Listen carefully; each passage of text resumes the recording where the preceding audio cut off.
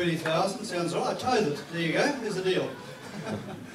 no, we only kid along. You know it's Pastor David's birthday today, don't you? Did you know that?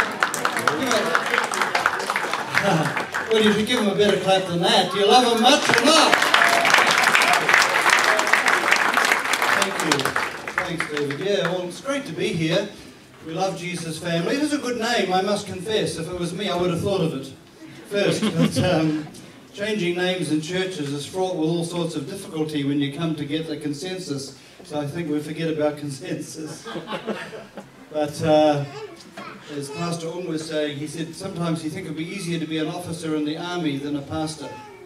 I think he might have been right although we love pastoring, so we're only kidding, all right? So we're happy. Welcome to our friends from America. My son-in-law is from San Diego, so I guess we've got some uh, some uh, investment in the place, and uh, eh? it's okay. Is it a connection? Yeah, a connection. And we love the world actually because we are from another kingdom. Who believes that? This is not my message. I just sort of got to warm us up a little bit. Thank you for those that worship led. I was inspired young lady here, you were up there singing away and I was blessed. Where's the young lady who's leading us? Miriam, is it? She's around here somewhere. In any case, I want to thank you because I was greatly blessed and uh, taken into heavenly places. I love that line in one of those songs. I hope we listen to what we're singing. Jesus, you brought heaven down. You know, we subscribe to a theology and an understanding whereby we are waiting for the resurrection to come, but I'm not just waiting for it to come in the sweet by and by. I'm engaging in the work of the kingdom coming into our present experience right now. Who believes that? Every time a miracle is worked, the kingdom has come. Jesus said that. Today the kingdom has come to this house. My introductions are better than the message, by the way. This isn't even an introduction. But today, when somebody's delivered from a demon, he said, Today the kingdom has come to this house. You see, we're not waiting for the sweet by and by. We're waiting and expecting that every moment of every day, the kingdom will invade our lives in some measure. Good Pentecostal doctrine tells us when a miracle a work, a supernatural event, is an inbreaking of the kingdom to come into our present experience. That's why we don't get it all now, but we do get some of it now. It's a taste, a guarantee, a foretaste. It's like smelling the coffee before it's served. And uh, that's the zone we live in. So I love being in a position of faith.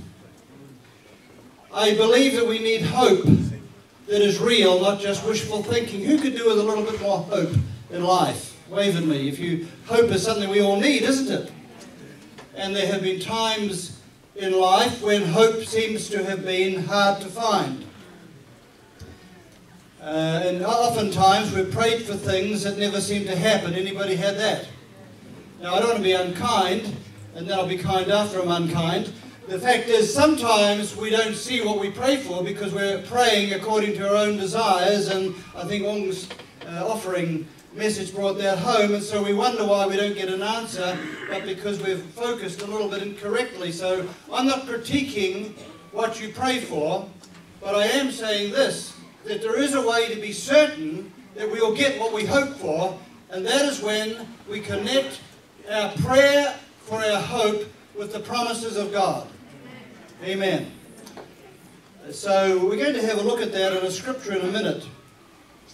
You know, there's a proverb in Proverbs 13 and verse 12 that says, Hope deferred makes the heart sick.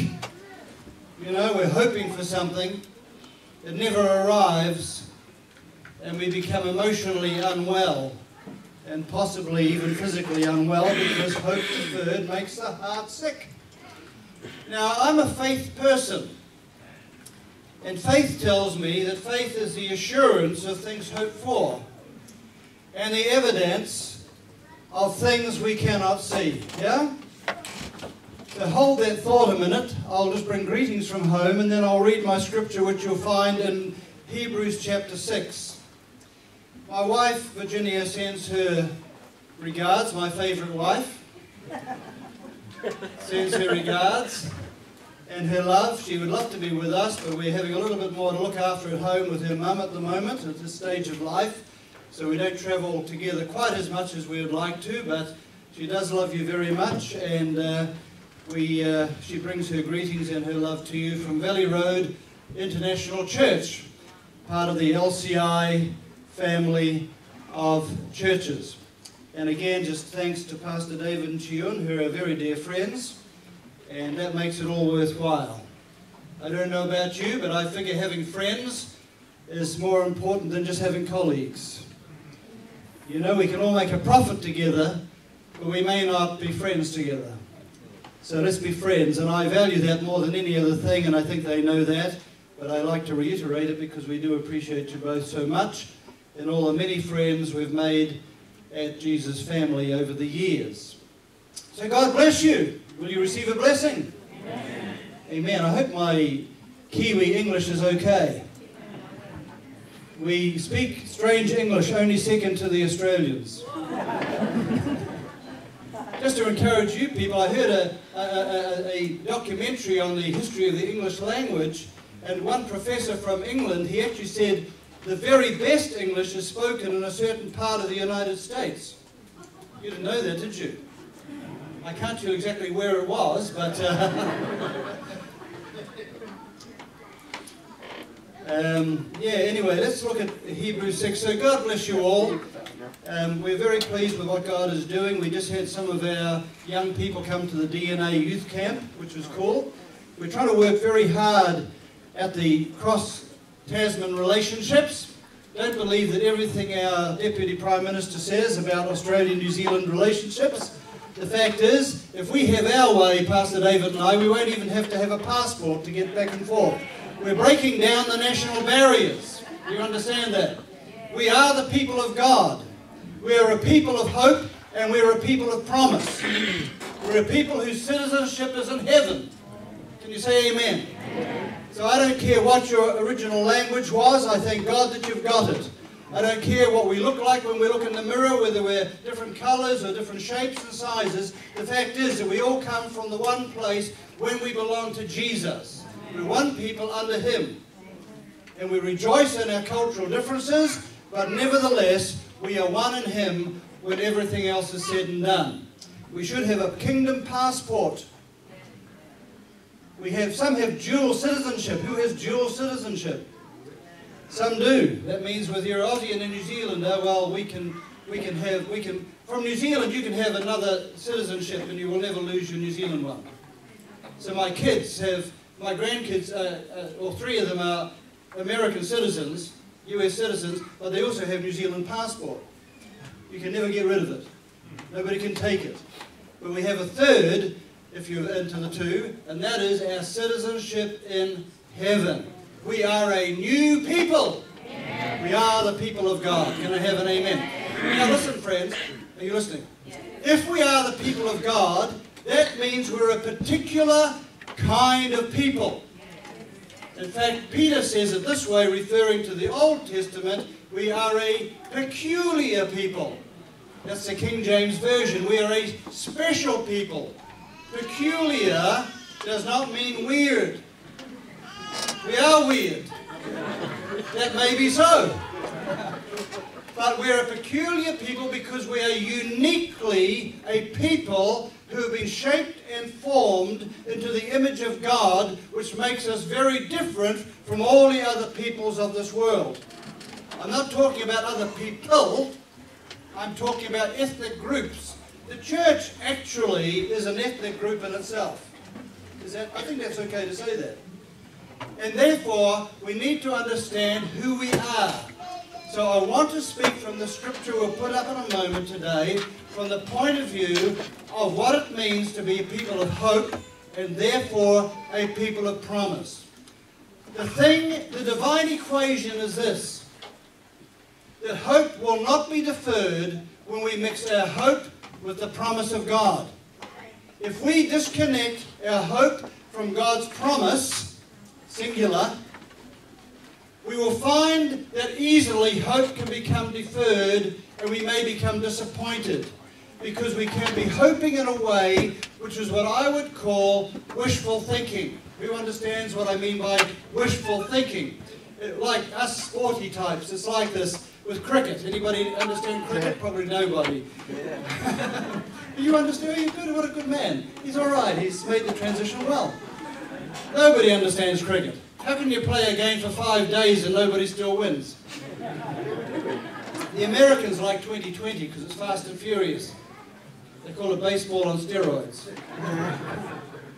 But the thing is this, because you never play cricket in the rain, then we hope for the match next weekend it will not rain. I hope it does not rain. Well, if it rains, what are you going to do with your hope? You see, we hope things will get better. We talk like this a lot. I hope it'll be okay. Well, yes, we do hope it'll be okay, but that actually is wishful thinking. I hope by this time next year I have a new car. Well, if I guess if I save hard and I got the money, then maybe I will. But hope without promise becomes wishful thinking. In other words, it has no real substance. So faith has to come to bear. Hebrews 11.1 tells us that faith is what? The evidence, the substance of things hoped for, and the evidence of things that cannot be seen. So faith brings substance, tangibility to the things that we hope for. Now, I want to get into one thing when I read the scripture that we can put our faith in, that a hope that will not disappoint. We all need something in life, my friends, that is an anchor for the soul. Otherwise, we become disjointed. We become disappointed. We, we can become depressed. I've never been depressed. I've been recessed, but not depressed. Um, and I don't downplay when people do have a clinical problem with it, but the thing is often that our, our emotional well-being will be enhanced if we can adopt a position of faith which is connected to the promise of God. Hmm. You know, just to give it a bit of a plug, $12,000 for a building is nothing. We can't even buy the chairs for $12,000.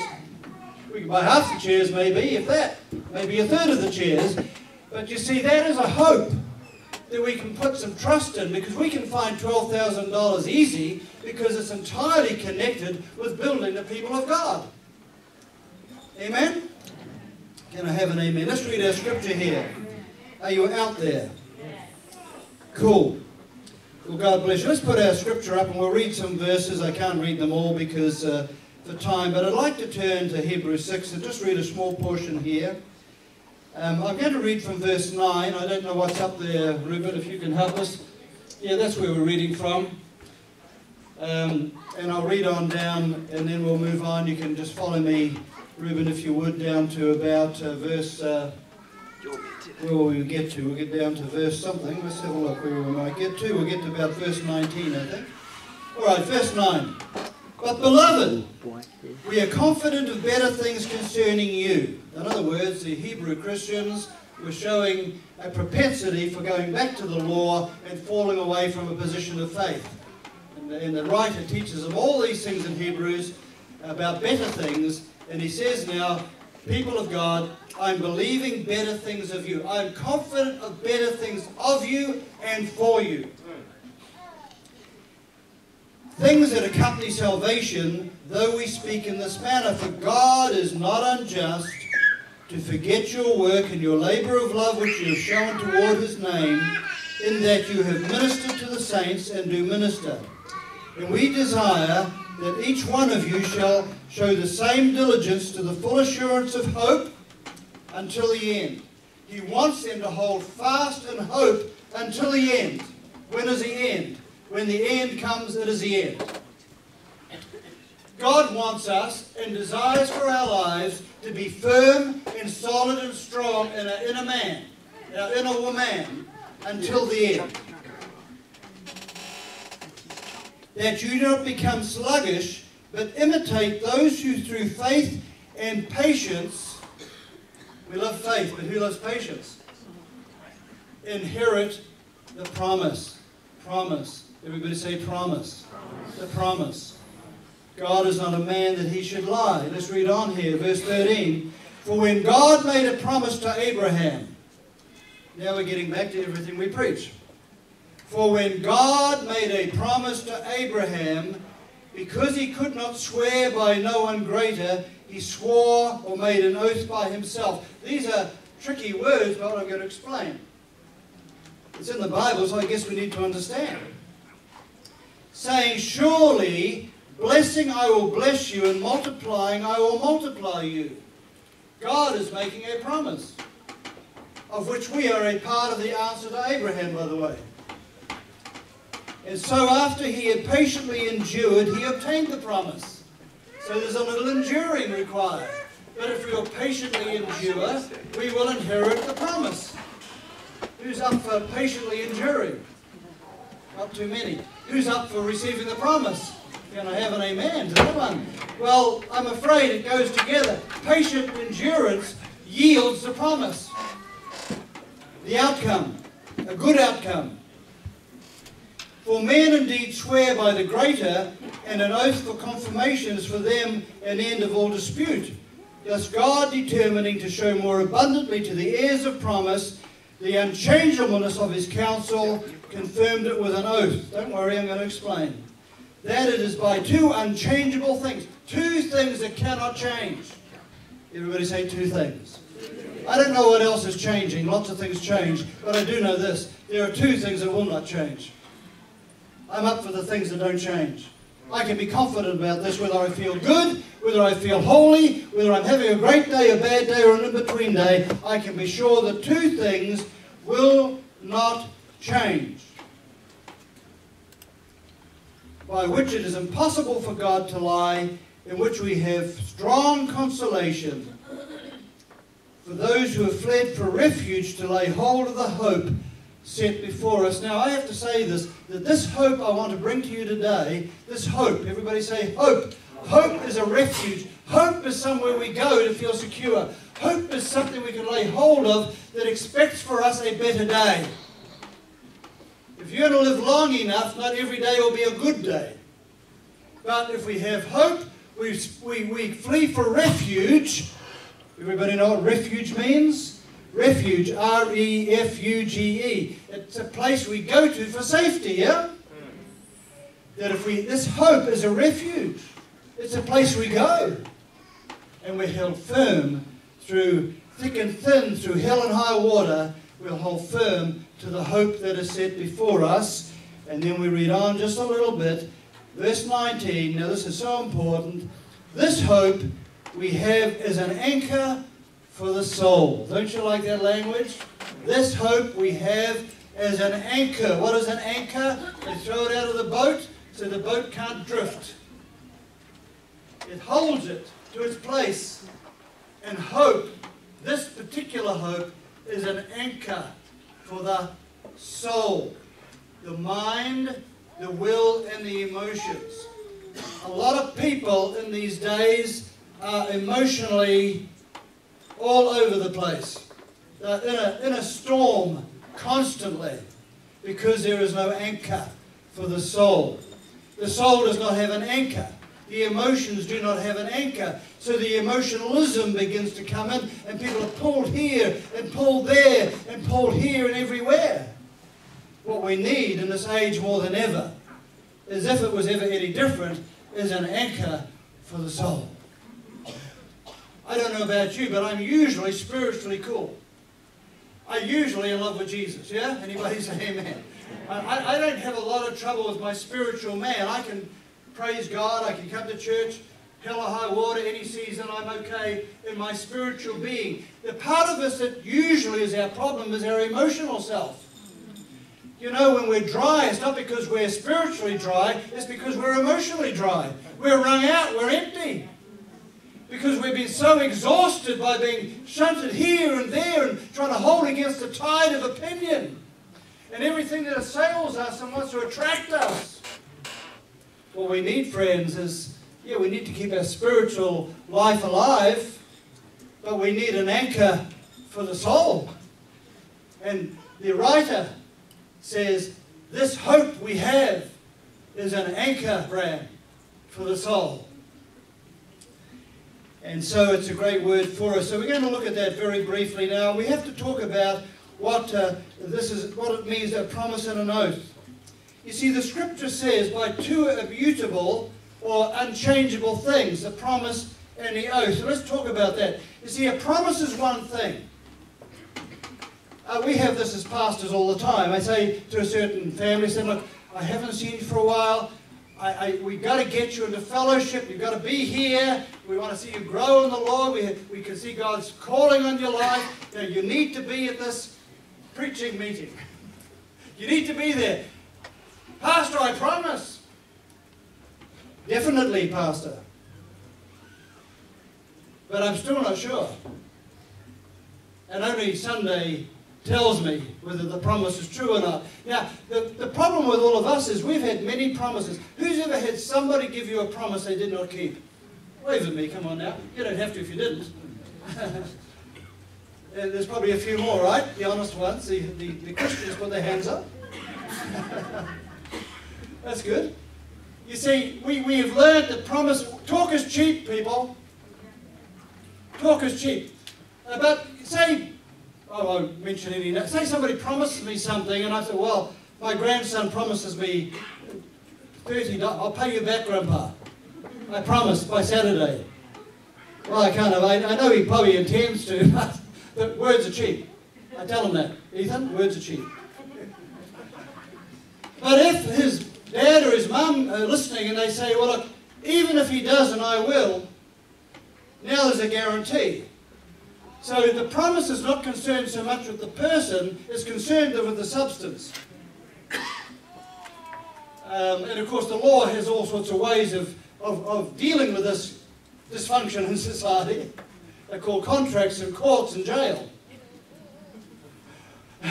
But you see, words can be cheap, and we may have been trained a little to be doubtful about a promise.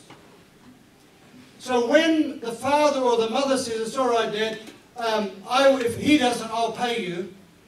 Now there's a promise with an oath. A surety, actually, a guarantee. So now God does not need to have an oath, actually, because he is all truth. But because he knows we're trained to not trust, he not only promises, but he gives an oath. He gives a surety. So this is how it works for us. We're here today because God promised, by the way, of who we would be as the people of God.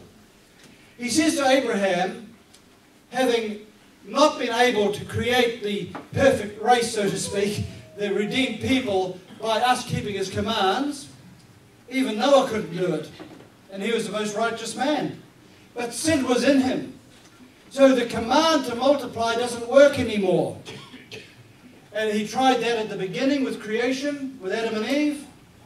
He commanded them to go forth and multiply, but they only multiplied the sin nature. So he wipes everybody out with a big heavy rain, which you'd love to have in Sydney. Not to wipe everybody out, but to water the garden. And he picks Noah, who's righteous in the sight of God. Yeah? But even Noah, the only one to come through, still got the seed of sin in him. And even there, when he's commanded to go forth and multiply, he cannot. You should be getting encouraged by now that what God wants to achieve through us is not because we're just going to do it, it's because he's going to do it through us. We're just the vessels. You see, many Christians have not met their full potential in life in their ministry because they figure they haven't got life sorted out yet.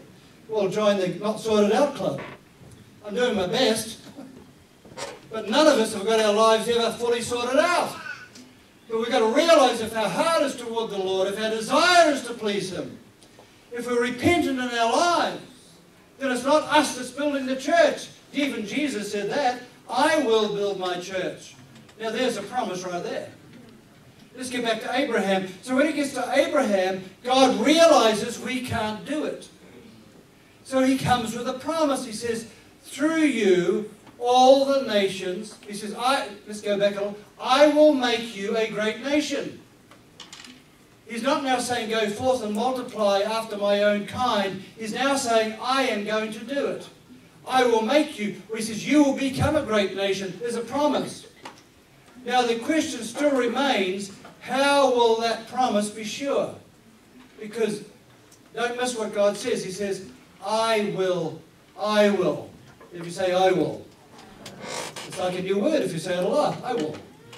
I will. It's a name. I will. I will do it. So God has made a promise, you shall be a great nation, but He's also given an oath, I will do it. You with me? Hmm. So when we're dealing with the promises of God, and I'm not just saying lightweight, I'm talking about building the church, I'm talking about the kingdom here, we must understand if we align ourselves with God's purposes, not only has He promised what we will become, He's also given an oath that He will do it. Are we getting it? Two unchangeable things. The promise of God is unchangeable because He's not like us mere men or human beings that He can lie, right? Numbers chapter something. It's not possible for God to lie. But if we don't trust that, if that's not enough, he actually says, Not only have I promised, but I will do it. Now, what has he promised? He's promised that we'll be a great nation. He's promised that we'll be a great people. He's promised that we'll be a people with sound minds. He's promised that we'll be a people who know their God. He's promised us that we will be a people who are the, a part of a great multitude that fills this earth. He's given us a promise that we'll be the head and not the tail. He's given us a promise that His purposes will be fulfilled. He's given us a promise, at least I know this for my own life, that what He purposes for me, He'll keep me until it's done. You see. He's not only given me a promise, but He's given us a surety. Who is the guarantee of what is about to happen for us. There's two really, but they're both connected. One is the blood. We just took communion. When you take communion, we should always remember that God is true to his promise. Jesus took it all. And the second is the giving of the Holy Spirit, who is a pledge, a down payment, a guarantee. When you get baptized in the Spirit and you know the work of the Spirit in your life and you know that the Spirit is moving in you and touching you. I was talking to one of our great young men last night about how the Spirit had touched him, obviously, and he's now so, so zealous for the Lord. Have you ever had that experience? One day when you were younger, you were not zealous for the Lord, then the Spirit came and touched you, and suddenly you were zealous for the Lord. You were just an in church Christian. One day, the Holy Spirit touched you, and you had a foretaste of heaven to come, and suddenly you're a whole new man or woman. You see, that's what we seek most. And the, because the Spirit has touched us, He's put a seal upon us. And He's a guarantee. Here's the oath, the surety of what lies ahead. We'll surely see. And you know, I've found this becomes very practical because we need this hope as an anchor for the soul. I like what it says in the message paraphrase of that scripture that we read. Abraham stuck it out and got everything that he had been promised in the end. And so we need to understand that we're a people of promise and that this hope is an anchor for the soul. Hebrews 6:19 the promise with the oath protects our own intentions, and this is why little saying. Our own intentions by hope are protected from just being a sanctified good intention to become a certainty of commitment. When we make an oath, what might have been just a, a, a thing to please the hearer becomes a solid commitment to do something, you know? Now, this is what we do when we take weddings. My son gets asked to do all the weddings now, which is great. I've got one coming up. Our youth pastor and his lovely uh, wife to be. Um, but we, we give those who are married, no, you take covenant vows, right? Vow, there it is, an oath. So you make a promise with an oath. And when you make an oath, you call upon somebody higher than yourself. Like my grandson, he calls upon his dad to pay if, if he doesn't. So an oath always calls on a higher authority. Now, Jesus doesn't call on a high authority. I never heard Jesus going around, I'm Jesus, now I pray healing over you in Jesus' name. He doesn't need to because he is. Are you with me? You know, come out in Jesus' name if he's troubled with himself. Oh, yeah, hang on, I am Jesus. but for us, we pray in Jesus' name because it's not my prayer. I can declare prophetically healing over you, and I can believe for that. And whether I say the words or not, I'm actually, by faith, believing in a higher authority to back up my prophetic utterance. I don't carry anything apart from faith. And faith is believing that the one who promised is true to deliver what he promised. Abraham is the first believer. It never was a bumper sticker on your car. I'm a believer. Hands up all the believers. Well, Abraham was the first believer. That's what it means to be a Christian. God promised, Abraham believed, and he was judged as righteous. So being a Christian is simply believing that what God promised he will do. And when God promised, the Father promised, he'd bring a Redeemer whose name is Jesus, his own Son, and promised that that sacrifice would be sufficient to pay the price of the penalty for your sin, then we simply believe and say, I believe that, and you are now a believer. Hmm? It's not actually a feeling, it's actually quite a transactional act. Simply believe.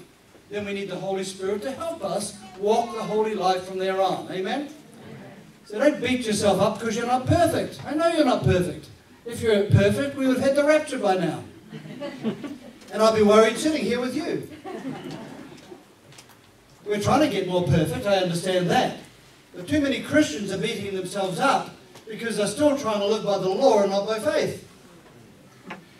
And putting their focus on things perhaps that are not, in the bigger picture of things, the most important things. So we need this hope as an anchor for the soul. Now let me illustrate a little story. Years ago, and I might have told it here again, but I'll tell it because you probably forgot. Um, we, uh, this was back in 1986 when there was a stock market crash. Anybody lived long enough to remember 1986? Do you remember the stock market crash? Yeah, I mean, it reverberated around the world. In New Zealand, I don't know what happened in other parts, but our mortgage rates went up to about 25%, or over 20%. And that'll kill anybody's finances, won't it? And uh, so we bought this house. I was in a consultancy sort of work, and I was making quite a lot of money for what was a lot of money in those days, still more than I earn now. And I was kind of got a bit off on this, so I took out a big mortgage. Mortgage, mort, dead, death, gauge, engaged, hold, death hold. well, I'm only telling you what the word, anybody who speaks French probably knows that's what it means. Mortgage. I'm not trying to freak you out, but just get it paid off, that's all. get that gauge off you. And the thing is, we built this place, and then suddenly work dries up. Suddenly, we don't have the income. Suddenly, whether you've got the income or not, 20% interest is going to kill you. And so, long story short, we knew we were going to lose everything we had financially. And we did. But you see, what I, I was a Christian by then, praise the Lord, by about 10 years. And I said, my wife and I sat down one day, because financial stress can bring a lot of stress on people's lives. You, you know that, don't you? But we had to talk about it very sanely. We thought, now listen, we got born again. I was born again uh, a little bit later, you know, I was, you know, knew what it was to be a not, not a Christian. so kind of actually I was born again. And I knew what it was to be called by God. And I knew it was to touch and taste the heavenly gift. And we said to ourselves, look, we love each other. We've got a great marriage. We've got four great kids. They love Jesus. They love us. And they don't know anything about mortgages, by the way. they didn't even know anything about economics. And we got a call of God. It says, really, if we had nothing, but we've got the love between ourselves, We've got our kids and the family. Ah, family. The family in order, the church in order, and, and, and our calling is being outworked. Why would this really worry us that much? Now, you've got to talk like this. Because you see, we're beginning to lay hold. Look, I lost sleep over this. We all know what it is to have panic attacks. Maybe some do, some don't. Who's ever had a panic attack? I know what it's like. I know what it's like to, you know, you just got to keep alive. But I do know in those times, thank Jesus, I had a vision of the heavenly things. Which are not just waiting for in the sweet by and by, that are the reality of life for us today. This world needs Jesus. This world is going to hell, by the way. It looks cool, but it's not so cool. The things that matter are the things that are our hope to lay hold of as an anchor for the soul. Now, I know we have to preach to ourselves a little bit to get this into our hearts and minds. Now, I, if all preachers have to preach to themselves, because this is what we believe, this is what we preach, I better believe it now, yeah? That's the trouble with being a preacher. Come to the seminar, you're going to be messed up. Because preachers kind of have to believe what they preach. And uh, you will be tested. but my point is this, friends, that that was a very practical thing. So sometimes people think, oh, that's all right, Andrew, that's just about heaven and it's all far away. And what about now? I said, I tell you what, what's coming, help me now. What? That, that the thing that we're engaged in as citizens of heaven, this is where my hope lies. I realize whether I've got income or no income, whether the church's finances are up or down, it will not stop Jesus building it. Even pastors can get concerned about the cash flow. And we need cash. We need a lot of it. We need more of it. But at the same time, if we didn't have it, I don't believe the church will stop. And so we need to start learning to find a hope that is truly an anchor for the soul. I have a very simple message really today. I've said all that to say this. I really so desire for the people of God to be secure. I, I, I, it grieves me to see so many pushed and pulled around by every circumstance of life. You know, everything that is coming their way and going their way. Life has got many, I, I realize that. I'm sympathetic, but only partially. With a moderated sympathy. Because I do know that the greater measure of satisfaction can only come when we fix our, our eyes on the, the hope that is sure. Anybody ever found that in life? You know that. And you know, sometimes the people who have paid the highest price to find it know that the most. Um, it is true we can get so tied up in the things we got, and when we lose it, the bottom falls out of our lives, you know. It's like the roof caved in. Well, maybe it could be a lot worse. I've been to the world where people have got nothing. They seem to be quite happy, the ones I found, because they didn't know there was something else to own. Now, I'm not saying we, we do need to live well, and uh, poverty never honoured God at all, I'm sure of that. But of course, we want our material hope to be moderated by not, we don't want to become materialism. So, getting back to Abraham as we come to a close, the purposes of God to multiply his likeness on the earth has never changed. You see, what God promised to Abraham, he has not wavered in thousands of years on. Planting churches, building the kingdom, building your, your family, building the church family, as Pastor Dave and I are quite sure about. We build the family of the church as our prime thing, and then families, families will be blessed. But the church family is your greatest security, is your greatest place where the hope becomes concrete, touchable, tangible, real. You know, I always say to the people in our church, I said, if you're part of the church, if you're part of the family, you should never have an anxious day wondering if you'll ever not have enough to eat. If a church is a family, we'll make sure we're all eating. You may miss lunch one day, but that'll only do you good. Nobody ever lost their salvation of their lives by missing lunch. But the fact is that if we can understand that we must have that security. That's why good churches aren't corporations. Church, it's, it's, a, it's an LCI value. The church is a family. In, in very real, concrete terms, because we will, we will, if we're part of it, that is, we'll look after each other. We won't all have the same amount as each other. It's not equality, it's, but it is equitable. In other words, we'll not let each other starve. We'll not let each other go without a roof. We'd not let each other go without clothing, would we? And you see, the family becomes an outworking of the greatest promise ever made to Abraham. In thousands of years, God has never stopped or, or wavered in his promise. And these two things. Not only has he kept his promise and continues to keep it to build his church as a distinct people, but he is keeping his second part that you don't have to do it. I will guarantee this will be done. Not because, because some preacher told you. It's not because we hyped you up to believe it. It's not because some book you read declared it. It's not because you just wanted to think it in your wishful thinking that perhaps it's all true. The fact is that God has guaranteed it because He says, I will do it. With you or without you, with me or without me, God will keep to His promise.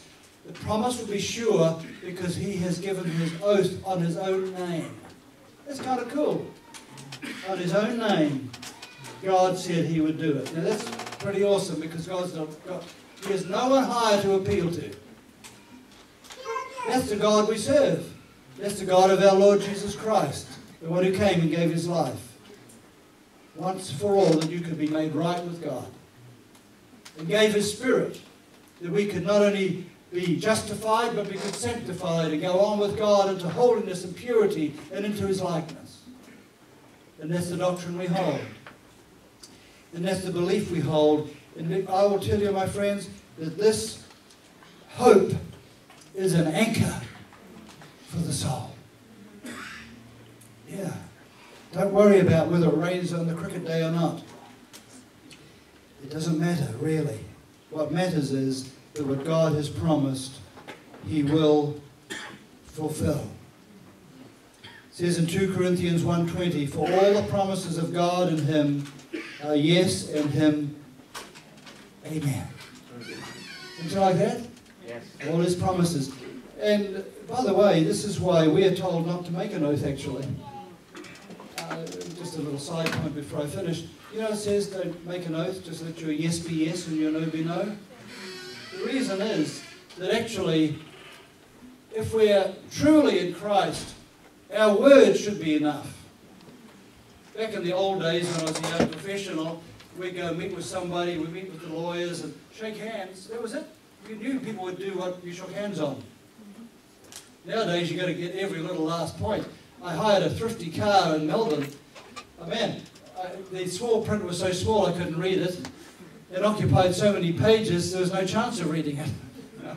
they had me tied up on every little last dot. What happened to the, I'll look after your car, don't worry, if I damage it, I'll fix it. Well, actually, as Christians, that's how we're supposed to be. We shouldn't have to contract and make oaths with each other. And I tell my grandkids that. Let your yes be yes and your no be no. It's good that your dad promised, but far better if you do what you said. Our word is our bond. Why? Because we're created in the image of God, and His word is His bond. And if the church is to be an image of God on this earth, the world out there at least needs to see a people who are just like Him. A people who are like their God, a people who keep their word, a people who will fulfill all that they promise to do, knowing full well that the God who promises us will be true to fulfill all that is promised for us also. Amen? This hope we have as an anchor for the soul. Let's say it again. If you go to bed with nothing else tonight, but remember that this hope is point to heaven. This hope we have is an anchor for the soul. Now I'm going to count to three and you're going to do it nice, moderated, just like we're singing. We've been led well from the front by our sister here. We're going to sing it in harmony, and we're going to sing it, we're going to say it. One, two, three. This we as for the soul. One more time. This hope we have as an anchor for the soul. Now let's stand and I'll pray for you. There you go. You need hope. Who needs hope? Let's look to Jesus. I'm going to pray for the Holy Spirit to bring a great measure of hope upon your life in His mighty name. Praise God. I tell you what, hope keeps you alive. Hope keeps you well. Hope makes age a number. Nothing more than that. So, Father, in the name of Jesus, right now, just as we begin to give us something on the keys there, brother. You're so cool on that.